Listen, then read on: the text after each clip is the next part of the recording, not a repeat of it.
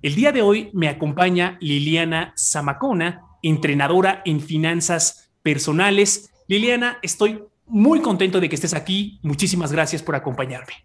Hola, Junel, ¿cómo estás? Buenas tardes.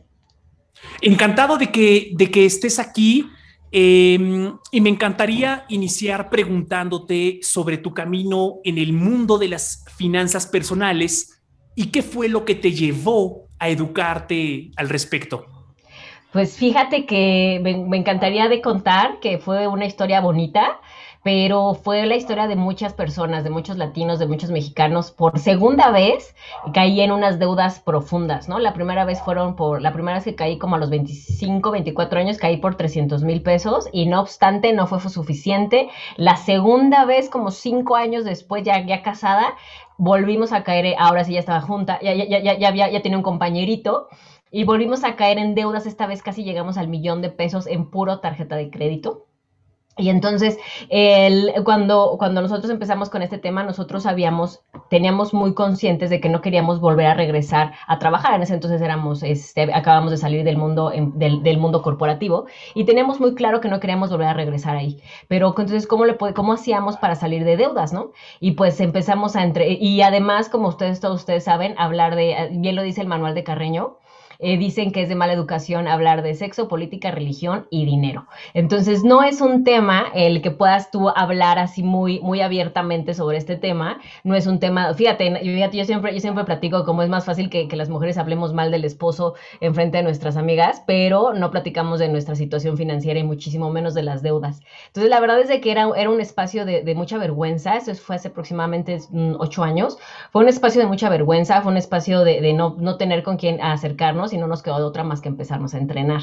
En el, eh, a entrenar en materia de finanzas, lo clásico, Robert Kiyosaki, que en ese entonces no había tanto como hay ahorita este, lo, clásico, lo empezamos a entrenar a, través de lo que nos sacó adelante nosotros sin duda fue el desarrollo personal y empezar a ver que había, que, que, que, que aparentemente, bueno, hoy, hoy, lo confirmo, si es un sistema el que está, el que te hace que te endeudes, ¿no? Y pues así empezamos, Junel, empezamos con muchísimas deudas y paralelo empezamos, en ese entonces yo era agente de seguros, ya no lo soy, pero empecé, nuestros clientes, este, eh, pues en, ese, en ese entonces teníamos planes para el retiro y cuando platicamos con nuestros clientes y hacíamos este e, e, este diagnóstico que hacen los colegas, pues platicábamos esta historia de las deudas, ¿no? Siempre fuimos muy abiertos en, esto, en esto, que había pasado y curiosamente la gente nos empezó a preguntar, salimos, eh, como estábamos aproximadamente cuatro años en salir de deudas, pero en, en el, a la mitad de ese proceso fue que nos hacemos entrenadores y fue que empezamos a contar nuestra historia.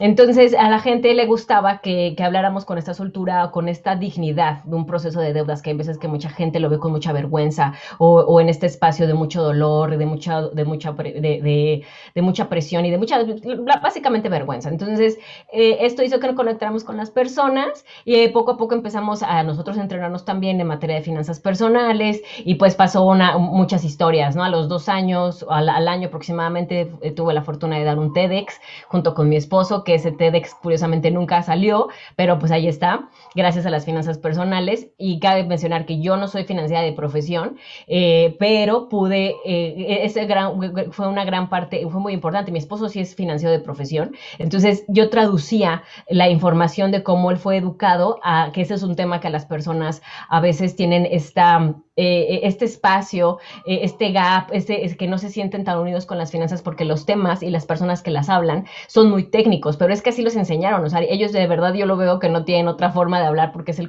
es, es, el vocabulario que tienen. Entonces yo tengo la fortuna de tener un financiero en casa que me va explicando y yo lo puedo traducir a la gente. Y, final, y finalmente, dentro de muchas historias, al final del día, este, eh, tengo la fortuna de que me invitan a colaborar como, como maestra digital en, la, la, plataforma de Platzi, que ahorita creo que anda llegando a los, al medio millón de alumnos, ya ni sé. Y, y ahí entro con tres cursos y pues tengo la fortuna de entrar ahora sí con, con estudiantes de toda Latinoamérica y ahorita estoy llegando a los 2.700 alumnos aproximadamente que andan por allá. ¿Y exactamente qué les enseñas, Liliana? A ellos, ellos es, ahora sí que como decimos en México, ellos son harina de otro costal, porque finalmente la plataforma está enfocada en tecnología, entonces todo lo que es Big Data, todo lo que es este, este tema que está, bueno, que, que, que el futuro es hoy, ellos son los embajadores. Entonces yo entro en un proyecto de ayudarles a, generar estas soft skills, que finalmente eh, es, muy, muy importante contextualizar que, por ejemplo, mis alumnos tienen 16, 17, 18, 25 años. Tengo de todas las edades, pero la verdad tengo más este, en este entre, 20, entre 20 y 30 años, es la más la edad de mis alumnos. Entonces no tenían esta formación de soft skills que, y dentro de soft skills metieron finanzas personales, porque ellos son desarrolladores de Java, este, este, backend, frontend, eh, big data, eh, etcétera, ¿no? Entonces todo, un, todo un, mundo y no, no tenían esta parte. Entonces yo a ellos lo que les enseño eh, es que planeen su futuro las finanzas para ellos son diferentes porque somos, son, son nativos digitales y muchos son nómadas digitales. Entonces, las finanzas para un nómada digital son completamente diferentes con alguien que está, yo soy nómada digital también, entonces con alguien que está solamente en un solo lado, en un, en un solo espacio. Entonces, con ellos hay que enseñarles este tema de finanzas para nómadas digitales, hay que enseñarles el tema de la relación con el dinero, hay que enseñarles el tema de que aprendan a planear para el futuro, eh, muchos, curiosamente, contrario a lo que la gente eh, piensa sobre los sueldos que hay ahora, en la industria tech tiene, sueldos muy altos, entonces, o muy, o, muy dispares de, de, lo que están ellos viviendo en la realidad en cada país. Eh, porque tienen la oportunidad de, contratarse en otros países. Entonces, eh, las finanzas, pues es eh, finanzas personales, con ellos estamos empezando desde a crearles una cultura financiera más sana y no que sea la que heredan de su familia, ¿no? O sea, porque le, digo mucho a la, gente que está fuera de, de, Platzi que, que, cuando tienes hijos, que, te, que tengas muy en cuenta que tú eres el único ejemplo que tu hijo tiene de finanzas personales. Es lo único que tiene. Entonces, de ahí tú, tú, tú podrás evaluar si tus finanzas personales son las más óptimas o no. Entonces, en el caso de Platzi con ellos, antes de que agarren esa cultura financiera que puede ser tóxica, este, nosotros tratamos de, entrar para que junto con su formación tecnológica también formen las finanzas personales. Y puntualmente con ellos, eh, con ellos enseño eso, porque también enseño para salir de deudas, enseño a, diseñar el retiro, un, retiro porque pues, vamos a durar ya nosotros, yo no casi, casi noventa y tantos años, entonces para nosotros la historia es completamente diferente, o sea, y, todavía, tenemos que planear otros 30 años más de lo que planearon nuestros abuelos, ¿no? Entonces, estoy muy, muy muy, eh, muy, familiarizada y me encanta sobre todo ayudar a la gente a planear su retiro porque hay mucha gente que se da cuenta que, que, no, que, que no están dentro del patrón financiero, que es tener, eh, salir de la universidad, pues, sacar tu tarjeta de crédito, comprar tu carro, casarte, hipotecar, o sea, ese es como la, el, el el decálogo, ¿no? Entonces resulta que vemos muchas personas que pues, nos salimos un poquito fuera de esas finanzas y, y, yo soy este espacio como para que ellos manejen estas finanzas desde otra eh, óptica. ¿Cómo defines a un nómada digital para quien no esté familiarizado o familiarizada con el término? Ahí les da, un nómada digital son todas esas personas que pueden estar viviendo en muchas partes del mundo y no está, y, no está comprometido su ingreso eh, económico mensual, semestral, eh, semanal, etcétera, por su zona geográfica, ¿no? ¿no? ¿no? está condicionado, es decir, pueden trabajar en cualquier parte del mundo y pueden percibir un ingreso porque no es una condicionante para ellos estar, eh, estar fijos en un solo lugar, sus trabajos son remotos. Entonces, dentro de los nómadas digitales, eh, dentro de los nómadas digitales están también, o en este eh, um, nueva generación de, de, personas, tenemos también a los expatriados, que quiere decir, por ejemplo, un mexicano que vive en Alemania y que ya tiene allá mucho tiempo viviendo, ¿qué hace con sus finanzas? ¿no? ¿En dónde se retira? ¿Se retira en Alemania? ¿Se retira en México? Entonces, ¿qué, qué pasa con su afore? ¿Qué pasa con su plan de retiro? ¿Con sus gastos médicos mayores? Los impuestos son diferentes porque tiene que pagar en ambos lados. Eh, eso también aplica tanto para expatriados y para nómadas digitales o como yo les digo, ciudadanos del mundo. Como yo, estas personas que sabemos que yo, solo he vivido en un país, pero sé, me reconozco que quiero vivir al menos en tres países. Y, estos ciudadanos del mundo también entran dentro de nómadas digitales y los expatriados.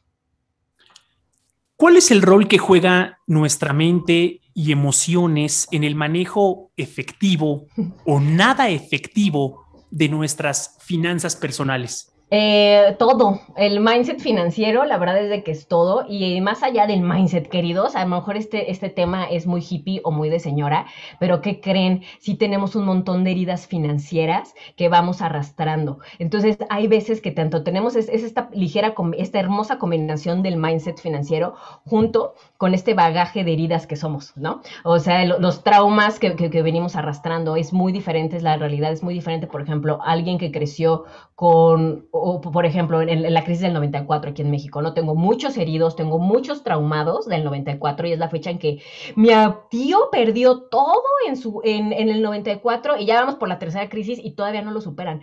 Entonces, hay heridas que, parece que es mindset, pero realmente es este que, no nos hemos observado que, nos impacta profundamente, ¿no? Por ejemplo, o también una herida de, rechazo, te rechazaron de niño, de, literal, de verdad, o sea, esos, estos traumas, y entonces de grande buscas este reconocimiento comprando cosas.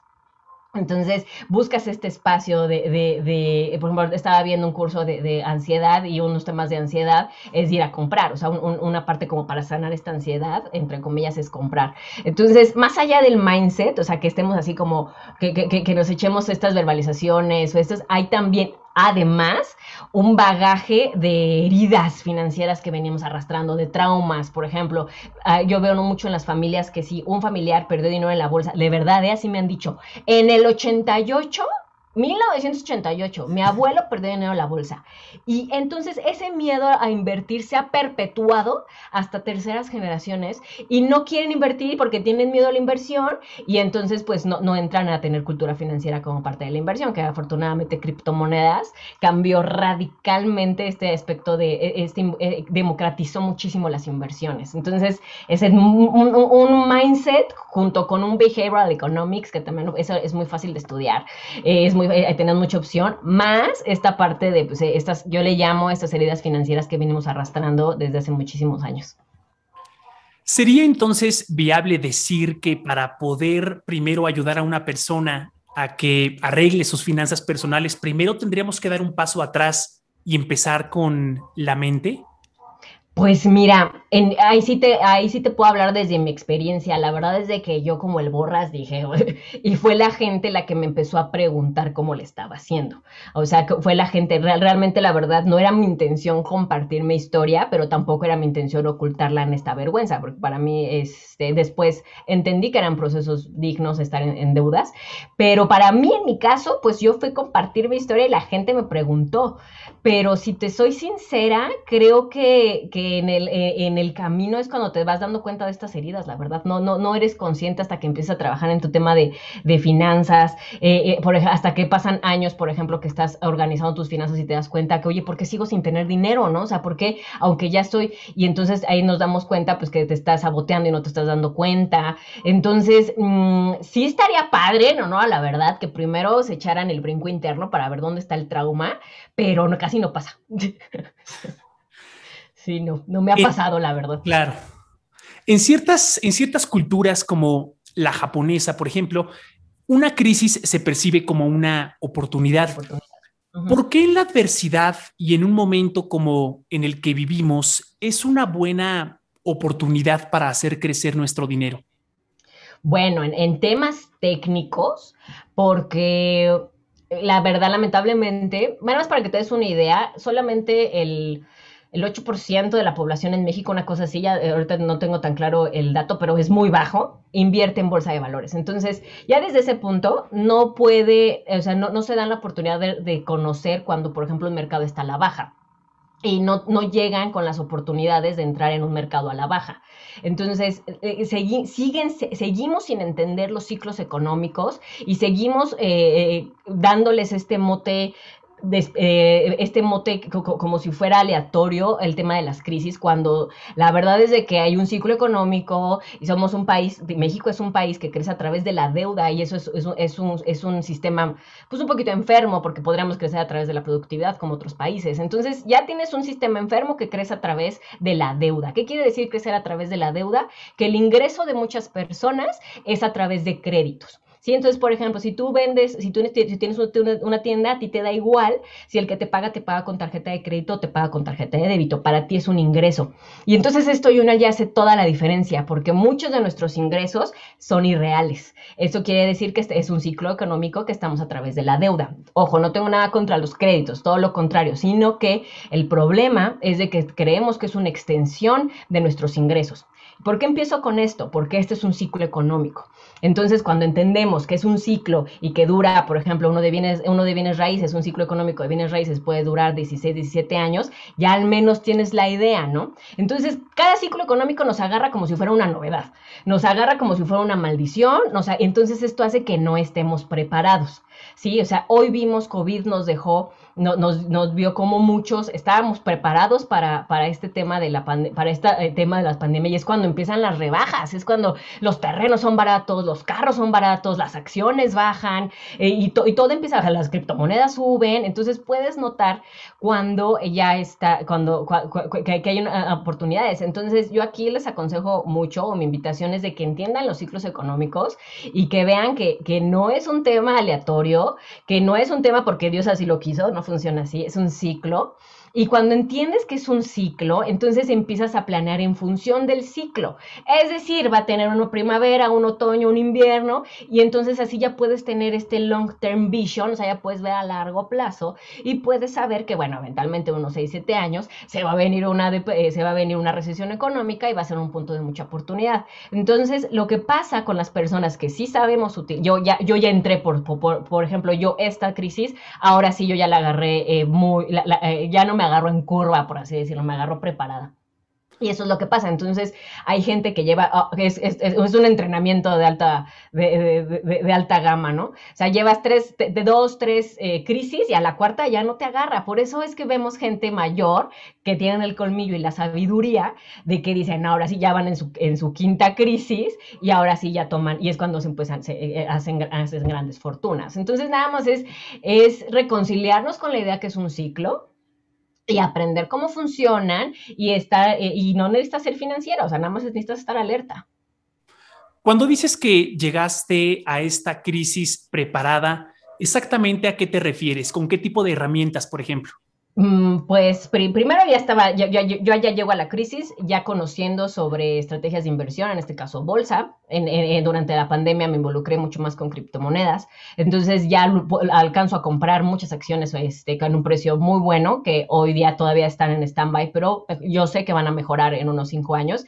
Pero sobre todo lo que más, más me, me agarra mí preparada es que yo ya tenía un fondo de el famosísimo fondo de emergencia yo ya lo tenía, yo ya, yo ya venía muy preparada con la industria porque parte, parte también de este ciclo económico es entender las necesidades del mercado que, que van, a, que van a empezar a, a, surgir. Cuando a mí me agarra COVID, yo ya soy, yo ya soy nómada digital, ya, soy, ya, ya estoy preparada. Entonces, muchos de los que estuvimos en la industria digital dimos la, el primer golpe porque ya estábamos preparados y entonces para nosotros pues fue, fue, fue un inicio de, de, de pandemia próspero. Todos los de la industria tech, industria digital, la verdad es que fue un gran, el año año pasado fue un gran año para nosotros.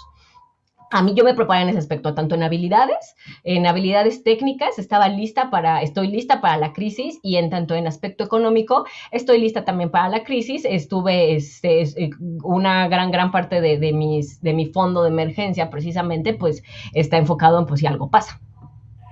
Cuando hablas de inversión en la bolsa, de la compra de acciones, ¿Cómo deben de entender las personas que están interesadas en esa práctica el tiempo? Ok, ahí les va. Siempre este, este ejemplo muy lúdico, pero me funciona mucho.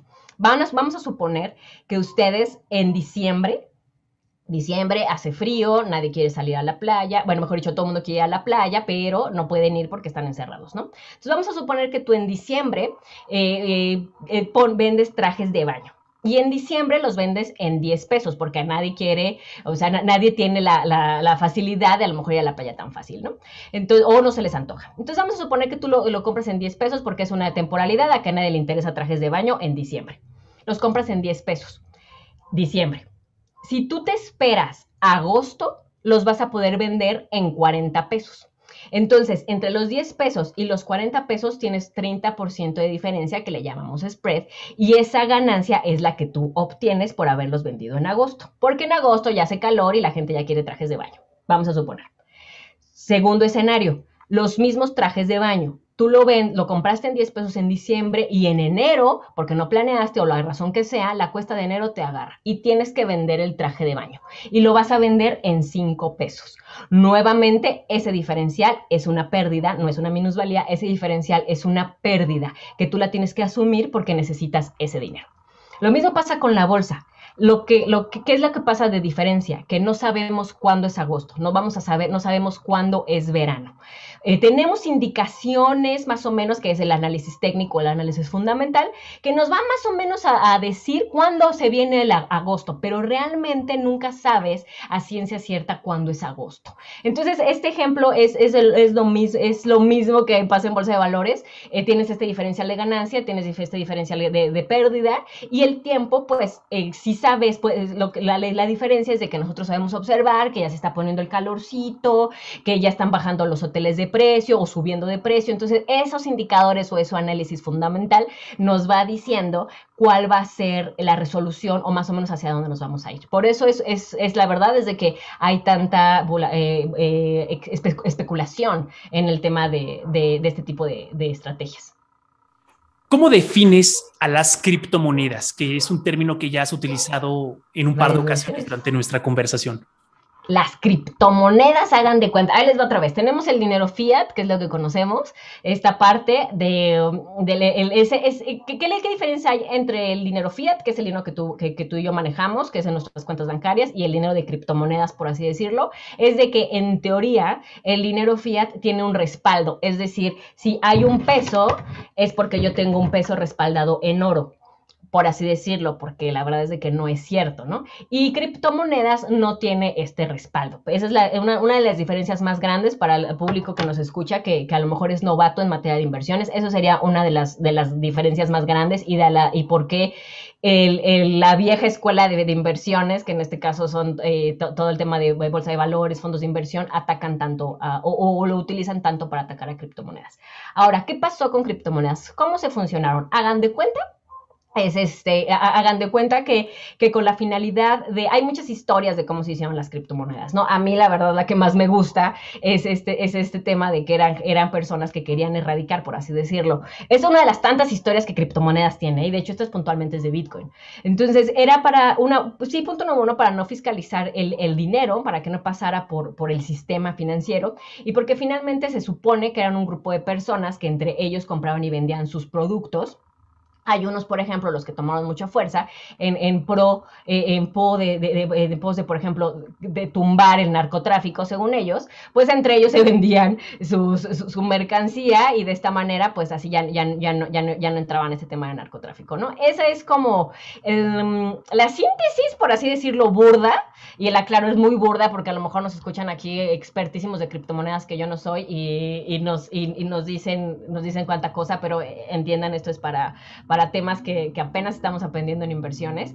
¿Qué tiene de, maravilloso? Bueno, aquí me encanta criptomonedas, el blockchain. ¿Qué quiere decir? Por ejemplo, que está descentralizado y es una de las diferencias más grandes contra el sistema fiat.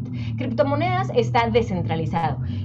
Para más fácil, ¿qué quiere decir que está centralizado? Banco de México, el Banco Mundial, etcétera. El dinero vive en un solo lado. Entonces, esto pues en teoría lo, hace un poco riesgoso, etcétera. ¿no? Entonces, cuando tú mandas pedir una operación de hacer una transferencia, tú pones tu cuenta clave, pero la realidad es que hay un transcurso, todavía de un proceso donde Banco de México te pidió, te, te pidió anteriormente que hicieras algo, etcétera y pues en el caso de, blockchain no es así porque está descentralizada. Haz de cuenta que el Banco de México siempre se está moviendo, siempre se está moviendo, siempre se está moviendo, anda por todos lados. Entonces esto hace que sea mucho más seguro en aspectos de cómo, no, por ejemplo, cuando a Banorte le dieron baje con, este, ¿cuánto dinero fue? Con 200 millones de pesos en, unas transferencias. Pensando en las personas que apoyas con sus finanzas personales, normalmente ¿Es un acercamiento preventivo o, te buscan cuando ya se encuentran en algún problema? De las dos. La verdad es que de las dos, yo personalmente, eh, para los, mis alumnos que me, que me escuchan, es, yo personalmente, la verdad es que sí, disfruto mucho cuando vienen y tienen los que yo le digo los happy problems, y es, profe, gano dos mil dólares al mes, no sé qué hacer gano mil dólares, no sé qué hacer. O sea, afortunadamente me topo con muchos happy problems de que les quieren este excedente y no saben qué hacer y reconocen que tienen que hacer una cultura. Muchos, por ejemplo, del 25 años para abajo, para los que nos escuchan como de papás, muchos están tomando las riendas de sus finanzas porque no quieren repetir los patrones de sus papás, porque no los admiran en materia de finanzas. Muchos.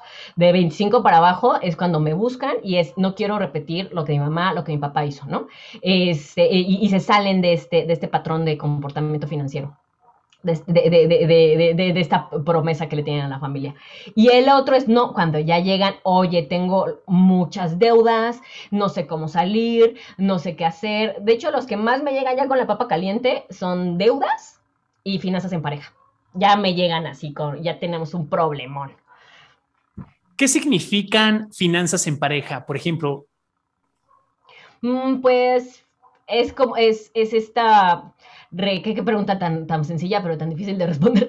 Eh, es esta relación que también tienes, al igual con tu pareja, que tienes una relación amorosa, también tienes una relación financiera, porque tu, tu, tu esposo, tu, tu cónyuge, en deber ser para unas finanzas sanas, sanas en el aspecto en que puedes llegar más lejos, eso es lo que lo compro una y otra vez, se invita a la gente a que tengan esta interacción, que tengan, es, que, que, que, que hagan equipo con su cónyuge para tener finanzas personales. Y aquí es un tema, la verdad, bastante controversial, porque hay mucha gente que le gusta separar sus finanzas y le gusta que cada quien lo tenga. Mi invitación es que, sin duda, cuando, cuando, hay una, cuando hay una pareja y los dos son financieramente cultos, la familia llega mucho más lejos y es mucho más sólida, además. ¿Qué tan importante es elegir a una pareja que tenga los mismos intereses eh, económicos que tú, los mismos hábitos de gastar o de invertir, etcétera? Toda, Jonuel, toda toda, toda. Mira, ahí te va, ahí les van los problemas, los cinco problemas que más se ven en la familia y que los hicieron omisión durante el noviazgo y afectaron brutalmente. La primera, no sabía que tenías tantos dependientes económicos. Es decir, tú lo ves y no tiene hijos, no tiene, no, no, tiene hijos, pero tiene a la mamá que, que, es súper mantenida, a la hermana que lleva el tercer hijo y vive con la mamá, al, al amigo borracho. Entonces, esos no los notas porque nunca hablaste de finanzas. Entonces, cuando ya se casan, siguen siendo sus dependientes. Y, oh sorpresa, ¿qué crees? Tú llegaste, o el cónyuge llegó a ser uno más de los dependientes. No figuras como prioridad y el cónyuge tiene esta expectativa de, obviamente, al tener, al, hacer una familia nueva, que va a ser esta prioridad. Y no es así, porque es un agregado a todo lo demás, ¿no? ¿Y qué pasa? Entonces empiezan los problemas porque nunca fuiste, no fuiste la prioridad, pero así se estipuló, solo que no lo hablaron. Eh, no fuiste prioridad y cuando tenemos hijos los problemas empiezan. ¿Sí? Porque, porque le das a tu mamá y no mejor pagamos la escuela del niño. Entonces, eso es, es muy importante. Tan importante es que, que el dinero es una de las segundas razones de divorcio en México.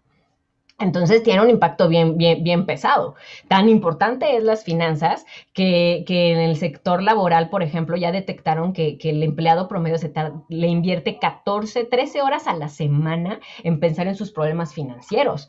O sea, entonces, o sea, un día, más de un día de trabajo a la semana. Entonces, imagínate cómo afecta esto en la productividad. Entonces, sí impacta mucho, sí es muy importante. Bueno, en parejas les decía, lo de los cónyuges que no sabíamos que existían, ¿no? Este le llamo el junior, el junior que, que, que cayó en, otro, en el otro lado. Cuando son novios, te encanta que te compre bolsas, te encanta que salgan a comer a la calle, te encanta que invite a todos, pero cuando ya se casan la cosa cambia. Entonces, siguen con esos hábitos de consumo, sintiéndose juniors, apalancándose de tarjetas de crédito. Y entonces, ¿quién cree? Y, es el cónyuge quien empieza a cargar, cuando que te parecía muy bonito cuando eras novio, ya cuando estás casado ya no te agrada tanto, ¿no? Entonces, esta es de la que más sufren las chicas con este. Tienen mucha expectativa este y pues acaba siendo eh, perjudicial. La otra, que también es bien común. Uno sí tiene cultura financiera y uno sí quiere comprar gastos médicos mayores, seguro de vida, y el que tiene el dinero y tiene el poder no cree en eso, no le gusta, nada de nada. Y a la hora que ah, tenemos una enfermedad o tenemos un accidente, es el cónyuge quien tiene que ir a resarcir, que tiene que ir a pedir prestado, porque el primero no quiso saber de seguros y no quiso saber de nada. Tercera, cuarta, y esto va más para las chicas, lamentablemente. Ay, no, yo no me quiero enterar de, números, a mí no me gusta eso. Eh, no, no, no, no, yo no sé, que se encargue, que, que se encargue mi esposo, mi esposa de todo ese tema, ¿no? Esta falta de responsabilidad esta energía financiera de adolescente con la que se manejan, invariablemente empieza a repercutir porque no es un compañero, es otro hijo en materia de finanzas, ¿no? Es otro hijo y entonces este, esto impacta mucho porque el cónyuge que es quien mantiene, se siente muy solo y se siente muy abandonado porque tiene otro hijo nada más de más edad que, es igual de responsable que todos los demás. Entonces, es, esos son dos puntos que más, más, más veo una y otra vez en materia de, de, finanzas. Y por último, el quinto, nuevamente, yo no me encupo de nada, no me encargo. ¿Y qué pasa? Esto ya es muy drástico. Cuando fallecen o mucho tiempo después se enteran que todo lo que tenían se lo, lo deben ya lo deben, ¿no? O sea, muchos deudores, mucho. Entonces se vuelven, la verdad, la verdad es que tengo muchas historias muy trágicas en este tema, pero ya es cuando me vienen, ya conmigo en materia de finanzas personales eh, de pareja, ya vienen con la papa caliente. ¿Cuáles son tres cosas adecuadas que hacen las personas que tienen una buena educación financiera en comparación con las que no la tienen? Punto número uno, no les importa el que dirán. Eh, una de las grandes cosas, y eso se lo, se lo agradecemos muchísimo a los gringos, su consumismo, es de que hoy día el latino, el mexicano, tiene el concepto de éxito igual a tener muchas cosas materiales, igual a tener el mejor carro, igual a tener la mejor casa. Entonces, punto número uno, a, las personas que, que tenemos finanzas sanas, ya no nos importa de verdad el qué dirán. O sea, de verdad yo les comparto que mi carro va a cumplir 15 años y mucha gente me dice, ¿cómo? Si soy financiera, porque yo soy minimalista. Realmente no es mi tema el carro, además de que manejo mil kilómetros al año. ¿Para qué me compro un carro? sí, sí, sí, casi no lo manejo. Entonces, punto número uno, son libres del juicio, eh, casi, nos, nos, le batallamos un poquito, pero al menos de los juicios más pesados, somos libres de ese juicio. Punto número dos, tenemos un alto o, o un diagnóstico adecuado, autodiagnóstico adecuado de nuestra emociones, porque hace ratito, como decíamos, este, justamente hay muchísima emocionalidad a través del dinero. Y lo más importante es de que, pensamos que no, pero eh, tan es así que yo le cuento mucho, ¿no? Esta, esta, tienda departamental aquí que existe en México, que, les, que, que se echaba súper fácil el eslogan, eh, vuélvete loca por las compras, ¿no? Y yo, bueno, yo digo, yo lo veía. Sí, sí permites que una empresa departamental te diga loca por las compras, pero tu esposo te dice loca, y arde Troya. Entonces, ahí está, eh, entre esos y muchísimos ejemplos, que sí, hay un, que sí hay una estructura que te van a hacer gastar. Y si tú estás vulnerable, y si tú no sabes quién eres, y tú estás totalmente desconocido, obviamente cuando llegas a una plaza comercial, te van a hacer sentir que vales todo lo que, lo, que, lo que no sabes que vales, y, lo vas a tratar de comprar, ¿sí? O sea, vas a tratar de comprar ese reconocimiento. Entonces, también por punto número dos, los, los que somos financieramente estables o saludables, mejor dicho, tenemos este, este tema. Y punto número tres, la planeación. Para nosotros sí somos, sí tenemos una visión a largo plazo. Estamos, eh, eh, nos sentimos cómodos abriendo un plan de pensión de 30 años, nos sentimos cómodos hablando de eventualidades, ¿no? O sea, hay gente, por ejemplo, que dices, oye, ¿tienes gastos médicos mayores? Ay, no, no, no, no, no, porque eso es llamarle a la mala vibra. Entonces, los que somos, eh, somos sensatos y sabemos que, hay una planeación y que hay esta, esta, responsabilidad de hacernos cargos de nosotros mismos, ¿no? O sea, esta responsabilidad de el gobierno no va a ver por mí en materia de pensión, tampoco va a ver por mí en materia de salud, entonces tengo yo que ver por mí. entonces, esas serían las tres cosas y sin duda la responsabilidad es uno que impacta muchísimo. ¿Qué consejo financiero le darías a las personas cuyo negocio ha tenido que cerrar como resultado del contexto de salud que ya conocemos? Chispas, qué, qué, difícil, pero creo que sería lo, primero en esta parte emocional, queridos, que si te encuentras en esta situación, quiero decirte que esto no te define.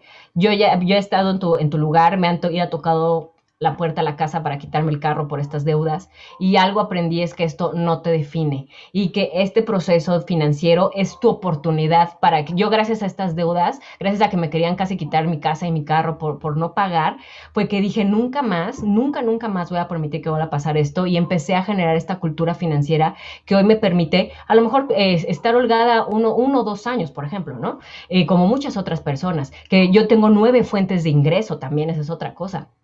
Entonces, lo, que les quiero platicar es de que esto no los define, esto es solo un capítulo de su vida y que es una gran oportunidad para que realmente eh, crezcan o aprendan de esta experiencia, porque nuevamente, eh, ya, ya, ya no lo vean por ustedes, casi todos los, lo que comentas de negocios tienen hijos, no lo vean por ustedes, véanlo por sus hijos.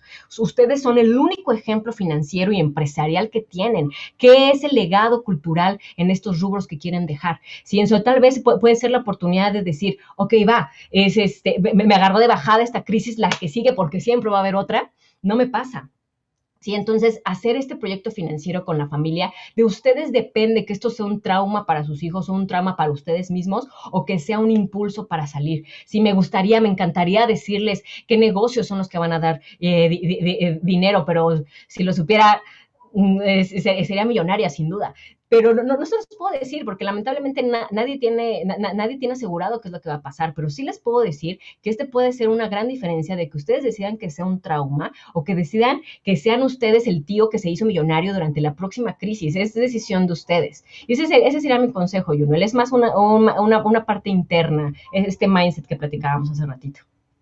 Si conectamos esta situación complicada por la que puede estar pasando una persona con el fondo de emergencia, que mencionabas al inicio de nuestra conversación, ¿cuáles serían dos eh, pasos iniciales para empezar a construir un fondo de emergencia que nos dé un poquito de tranquilidad en este entorno de tanta ansiedad? Mm, miren, el, yo bajo, yo cuando eh, reconozco que estamos en recesión, bajé totalmente mis ingresos para que me alcanzara más tiempo. O sea, que diga mis gastos, mis gastos los bajé muchísimo más para que justamente que, eh, que me alcanzara. Entonces, reconciliarse también con esta parte, que como estamos tan casados con la idea de que el éxito significan cosas materiales, entonces cuando te dicen no gastes, es así de soy pobre, soy un perdedor. Pues sí, pues porque para ti todo, todo es como, como, como el tema material, ¿no? Entonces, este, yo creo que, que, es ir, yo les invito, los invito encarecidamente a que empiecen a tener más ingresos. No pueden tener un solo ingreso. ¿Sí? Entonces, eh, ya, vieron que no se puede con un solo ingreso. Yo, yo, esta estructura de tener nueve fuentes de ingreso, me tardé siete años en construirla. No todas caen al mismo tiempo, no todas son muy abundantes, pero de bien que mal, recibo dos mil pesos de una, tres mil pesos de otra, exactamente. Y van cayendo, van cayendo de todos lados. Entonces, mi recomendación es que empiecen a cambiar justamente este mindset. Por ejemplo, muchas, mucha gente que son empleados y que dicen, ¿qué voy a hacer? Ponte a vender en catálogo en la oficina y si te da pena, es una alerta. Como, dice, como decía alguno de mis mentores, la pena no paga las deudas. Entonces, si tienes esta alerta de que te sientes con vergüenza, te, vende, más a mi favor, vende. Nuevamente, o sea, es este, la pena no paga vergüenzas. Nuevamente, si eres padre de familia, madre de familia, tus hijos siguen ese ejemplo. ¿Sí? Entonces, eh, yo los invito a que empiecen a generar ingresos extras, muchos ingresos extras, varios ingresos extras, y que empiecen a tener este análisis y esta conciencia financiera, ¿sí? O sea, esta conciencia de por qué compro lo que compro, qué estoy comprando, estoy comprando reconocimiento, estoy comprando seguridad, estoy comprando tiempo, ni siquiera sabemos, ni siquiera tenemos una filosofía financiera que yo se les enseño mucho a mis alumnos a crearla. Entonces, es, eh, ni siquiera, o sea, vamos así, ah, por la vida, este, nada más recibiendo sueldo y viendo en qué no lo gastamos, ¿no? Entonces, mi invitación es de que aprendan otros eh, aspectos de las finanzas, que, sin duda que tengan bastante cultura financiera para empezar a, por ejemplo, tengo, siempre tengo esta discusión con las chicas. Mira qué bonita bolsa Fendi. Y yo así de, ay, o sea, es que sí está bonita, pero no sé cuánto cuestan, creo que 20 mil pesos. Y yo inmediatamente siempre pienso en costo de oportunidad.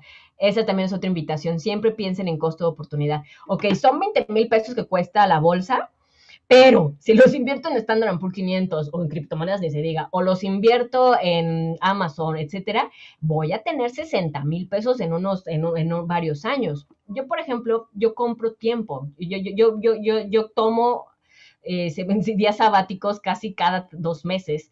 Entonces, porque yo por eso compro el tiempo. Eh, por, eso tengo. Entonces, para mí, una bolsa representa un mes que yo no voy a trabajar el, e, ese, el carro, ni se diga, el carro representa cinco años que no voy a trabajar. Entonces, en este, eh, y esto sirve mucho en el inicio, antes de que empiecen con la idea de que, pero se puede tener todo en la vida. Sí, se los juro, sí se puede tener todo en la vida, pero primero necesitamos un autocontrol, una autoevaluación, porque el YOLO, el You Only Lives Once, es el que nos tiene donde estamos.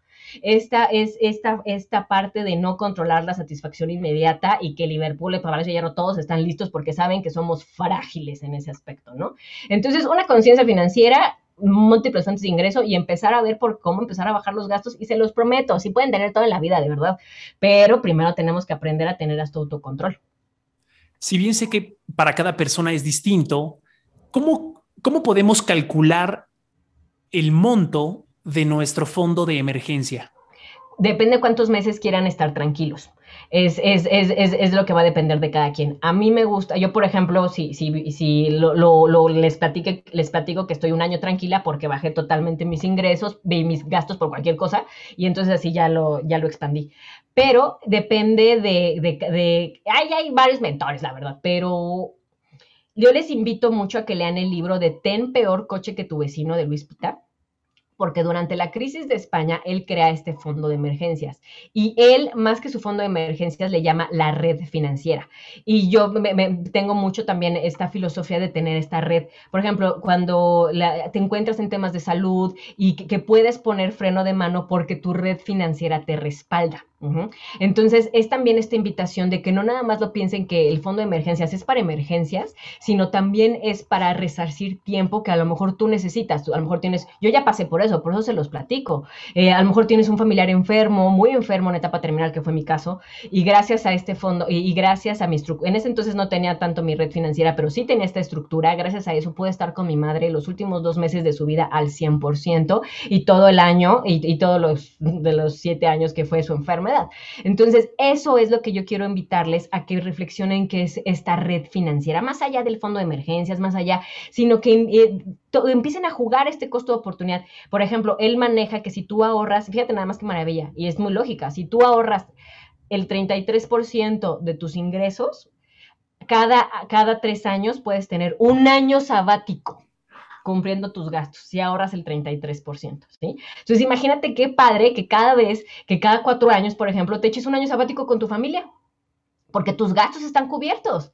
Sí, o sea, tú, entonces depende de cada quien de lo que tengamos en, esta óptica. Yo, los, yo, yo, yo aconsejo lo siguiente, empezar a formar la red financiera y sí tener en mente, este, este, por ejemplo, este chico nos comenta que su red financiera es de 20 años, o sea, puede no trabajar 20 años, imagínate qué padre. Entonces, que, primero, que la pongan en mente cuántos años. Yo, a mí me gustaría también tener una red de unos 15 años. Eh, eh, primero que tengan una mente de cuánto quisieran esta red. Y paralelo, la verdad, es tener así el fondo de oportunidades. A mí me gusta más decirle fondo de oportunidades, que es cuando pueden comprar criptomonedas y etcétera, muchas cosas muy baratas. Y ahí eh, lo pueden tener a lo mejor uno o dos meses de su, de su sueldo, tenerlo ahí para estas oportunidades. ¿Qué estrategia para invertir dinero tiene muy buena fama, pero que en realidad no lo es tanto? La plata. la mm, que tiene muy buena fama, pero en realidad está. No, no es cierto. La, la, plata a veces, pero ya hay ETFs, entonces ya podemos controlarlo mejor. Pero yo, y aquí es donde tal vez me quemen viva, pero los bienes raíces. Bienes raíces que fueron adquiridos por hipotecas. ¿Sí? O sea, si son bienes raíces adquiridos por, por otra situación, la cosa cambia. Pero cuando son bienes raíces adquiridos por hipotecas, queridos míos, quiero decirles que no es una inversión, es un ahorro. Y si tienen duda, lo pueden ver en, su, eh, en, en, la proyección financiera que les entregó su banco, cómo van a acabar pagando muchísimo más por, por, por algo. ¿Sí? Entonces, sí, bien, al final del día, eh, y aquí la verdad es donde yo me he hecho de muchos enemigos, pero nada más es cosa de que vean los números, es, este, es, es de que vean, por ejemplo, la, la gente se da mucho por la idea de, ay, tuvo mucha plusvalía, sí, pero la inflación fue del 6%. Sí, entonces se ve que parece parece porque tú viste que te valió 100 mil y hoy vale 150 mil, pero no te das cuenta de la inflación que hemos tenido esos años y solo te quedas con esa idea. Entonces, no es que sean malos, sino es que no están tan endiosados como la gente piensa que son. Sin embargo, cuando sí nos dedicamos de lleno como cualquier habilidad, bienes raíces para mi gusto es de los que más dinero dejan. Cuando sí estamos bien clavados y sabemos bien de impuestos y sabemos bien de macrolotes, sabemos, queridos, no, una comprar una casa de hipoteca eh, no es la inversión tan maravillosa que, que pensamos que es. ¿Cuál es la relación que existe entre hacer dinero y dedicarnos a lo que realmente nos apasiona? Mm, a mí me gustan mucho las dos. Me, gustan la verdad muchísimo las dos, tanto hacer dinero como dedicarte a lo que obviamente te apasiona, pero la diferencia entre el primero y la segunda es que en la segunda ya no te importa generar dinero porque estás haciendo todo lo que te gusta y no, no, no empieza, no es tan importante en tu vida, que también es una trampita, ¿eh? Pero eh, la, yo creo que más que diferencia, la verdad es de que eventualmente van a convivir tienen que convivir, de hecho. Yo inventé una frase, o yo inventé un, concepto que se llama quimera financiera. Y en la quimera, la quimera es, es, este ser mítico con tres cabezas, que es una cabra, un león y un dragón. Y tienen el mismo cuerpo. Entonces, yo, yo situé esa misma situación con los ingresos, ¿sí? O sea, en, el caso de la quimera, por ejemplo, el león, pues es, muy sensual, con, con, toda la mata gigante y es voraz, pero la realidad es de que el león come de vez en cuando cuando puede cazar, ¿sí? Entonces, tiene esa, come muy bien, pero come de vez en cuando. En cambio, por ejemplo, la cabra, que es más de flojera, pero esa siempre tiene comida, ¿sí? Esa siempre, bien que mal, siempre come pasto y siempre ahí está. Y por último tenemos al dragón, que el dragón pues es mucho más difícil que coma, pero también es, este, este ser mítico, etc. Con, ese ejemplo es que yo les cuento a mis alumnos que, por ejemplo, el león es este ingreso que, por ejemplo, cuando te dicen, oye, vamos a comprar este, un contenedor de cubrebocas y ganamos un millón de pesos con ese. Ese tipo de negocios son los de león no, son, no, te dan estabilidad, pero te dan esta pasión y te dan este fuego y, te dan también mucho dinero en, el proceso. Eh, por ejemplo, la gente no le gusta tanto eh, en este ingreso, por ejemplo, el de la cabra, que es el pasto, porque da flojera, pero es constante. Ese sería, sería el empleado, sería, por ejemplo, ese ingreso que no te gusta, que no te cae bien, pero que ahí está. Y por último, el dragón, que el dragón es esta parte donde nos referimos, yo lo, yo lo conecto con este fuego, o sea, como ellos, echan fuego, yo lo conecto con esta parte que es realmente lo que te hace vibrar tu corazón. Ese negocio que dices, wow, ¿no? O sea, ya sea carpetitas para gatos que nunca te, que, a lo mejor no las vendes, ya, lo que sea, ¿no? Lo que sea, es este el dragón. Entonces, para mí, en mi experiencia en estos años, no, no se requiere esta quimera y reconciliarte con todas y entender que todas son necesarias eventualmente. Te lo prometo también, te lo, de veras, eventualmente todos son dragones, eventualmente todos son, eh, pero tienes que pasar en un proceso por, por este trabajo que no te gusta. Y mi invitación es de que si tú tienes ahorita ya tu, que tienes ya tu cabra, forma tu dragón y forma tu león. Y honra y agradece a la cabra, porque a veces eso es lo que pasa, están parados en el enojo de ser empleados, están parados en la frustración de solamente tener un ingreso cuando ellos son los solitos que están amarrados, ¿eh? Pueden ser, son, nadie los está amarrando, nadie los tiene a fuerza, nadie los tiene a fuerza. Entonces, esta invitación a que aprendan a tener esta quimera para que se reconcilien con el ingreso que ya tienen ahorita. Dos últimas preguntas, si me lo permites, para ser respetuoso con, tu tiempo. no te preocupes, estamos bien. Muchísimas gracias. Eh, ¿Cómo defines el éxito, Liliana? Ay, chicos, les voy a contar una historia que para mí fue, que, me ha ayudado mucho a definir el éxito. Les platicaba que mi mami falleció de cáncer y hay una escena que, qué curioso porque hoy he hablado de ella cuatro veces. Hay una escena cuando la clásica escena de, del reposet, y está mi mami en el reposet sentada, peloncita, con su quimio puesta, y yo era la única, había, habíamos más, más pacientes, había más pacientes, y todas las demás personas que acompañaban a sus pacientes llegaban y decían, mamá, este, te espero en doble fila porque tengo que pedir permiso a la oficina, y se iban y corriendo, mamá, llego por ti, todos apurados, nadie estaba con su familiar en ese momento tan crítico, yo era la única. Era un martes a las 11, 10 de la mañana aproximadamente, a, las 2 estábamos en pijama, porque puedo, porque quiero, estábamos, la, la, estaba, eso, es el poder que puedo porque quiero, la verdad es que ese sería el mantra para mí del éxito. Y este, y porque podía, porque, porque podía y porque quería, estaba ahí con mi madre, acompañándola en este proceso, y ahí yo no fue cuando dije, para esto es el dinero. No puedo resarcir con dinero la salud de mi mamá, porque ese es otro tema, donde es imposible, pero sí puedo tener este tiempo de calidad porque mis finanzas me protegen. ¿sí? Entonces, para mí ahí en ese momento empezó a cambiar mucho este concepto de que era, el éxito, ¿sí? O sea, porque sí, sin duda no me servía de nada tener mucho dinero porque no podía salvar la vida de mi mamá. ¿sí? Tampoco me servía tener el gran trabajo del gran directivo porque seguramente no me iba a dejar estar con mi mamá tampoco me servía tener este, e, e, ser la gran empresaria, porque tampoco me iba a, tampoco iba a poder estar con mi mamá, porque iba a tener muchas responsabilidades. Entonces, creo que, creo que el concepto de éxito es lo que cada uno entiende que es esta paz que le da vivir. Sí, o sea, si, si, a ti te da paz tener 40 BMWs, adelante, date, ¿no? O sea, pero créalo y hazlo de una manera consciente, genera los recursos para que no, no, no, no estés en, esta, en, en, en, este espacio de perpetuar este ciclo económico negativo que les platico, ¿no? Si tu idea, por ejemplo, como la mía, la mía es mi concepto de éxito, es muy personal y es levantarme, yo, yo, yo no soy, yo, yo Liliana, no soy de esas personas que se levantan a las 5 de la mañana, todo lo contrario, a mí me gusta que me despierten los pajaritos, despertarme, hacer mi práctica de yoga o a lo mejor operar un poquito en bolsa, dar una, una clase, cocinar con mi esposo, nos encanta cocinar y, y, tener una tarde tranquila. O sea, para mí, Liliana, eso es el éxito. Yo compro tiempo, te platicaba, ¿no? O sea, yo, a mí me gusta, por ejemplo, después de acabar un curso de Platzi, acabo molida y me, me, me regalo casi 15 días de vacaciones después de un curso porque acabo molida, dejo todo ahí, ¿no?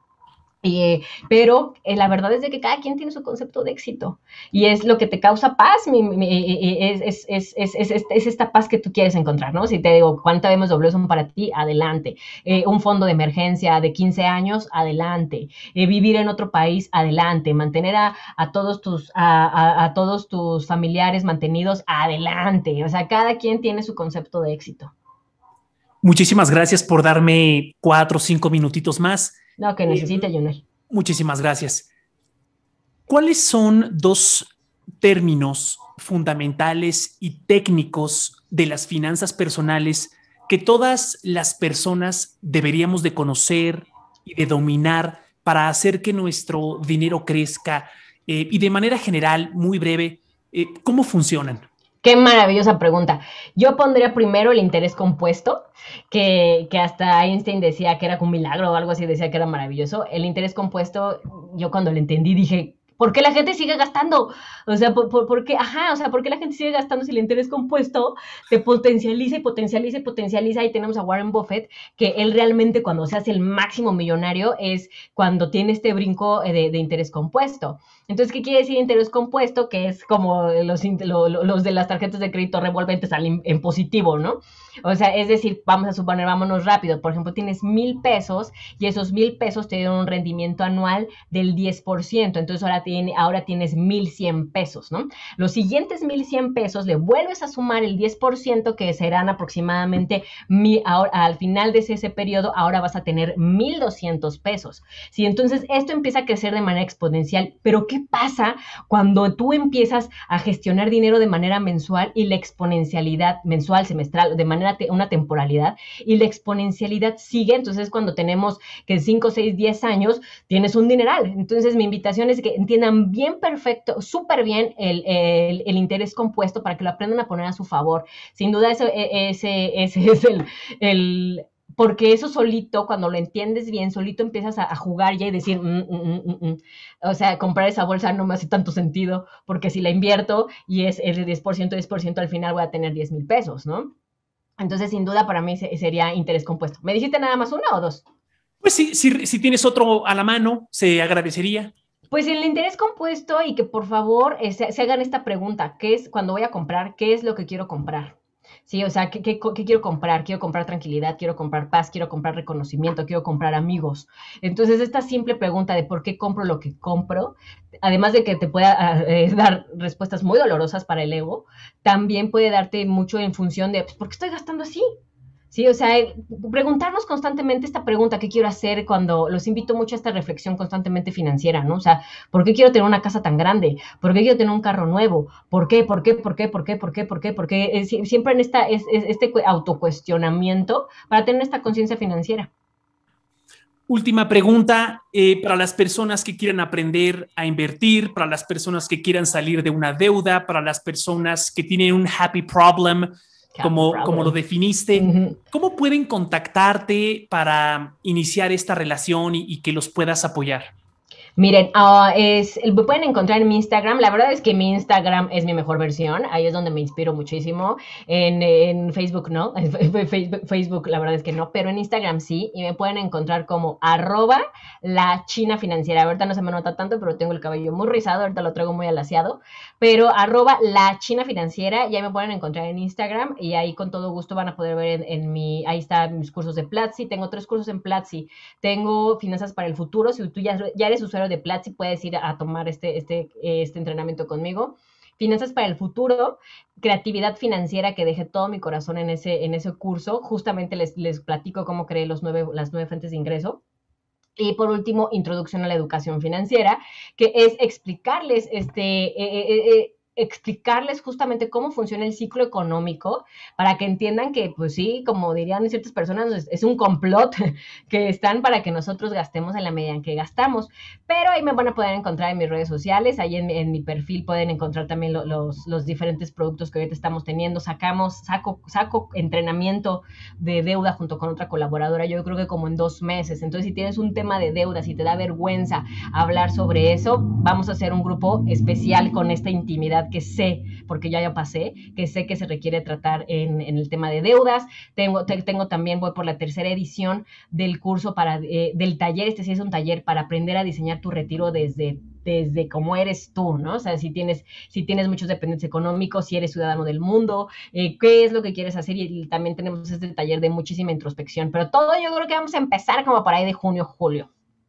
Excelente. Liliana Zamacona, entrenadora en finanzas personales. Muchísimas gracias por haber aceptado platicar conmigo. Hemos aprendido muchísimo de un tema que es esencial para nuestro futuro, etcétera, ¿no? Sí, es como la nutrición. O sea, podrá no gustarte, pero necesitas comer bien. Sí, o sea, podrás no haber estudiado la carrera, pero sabes de sobra que no puedes comer, bueno, quiero pensar que no puedes comer tortas todos los días porque a dónde vas a acabar. Entonces, haz de cuenta que ahorita tu educación, tu nivel de educación es, y comparándolo con la nutrición, es como si la única información que recibieras es de una tortería. Entonces, eh, de ahí la, importancia de que tengamos más cultura financiera para saber que hay otros horizontes, otras inversiones. Las finanzas, las inversiones avanzan a la misma velocidad que la tecnología.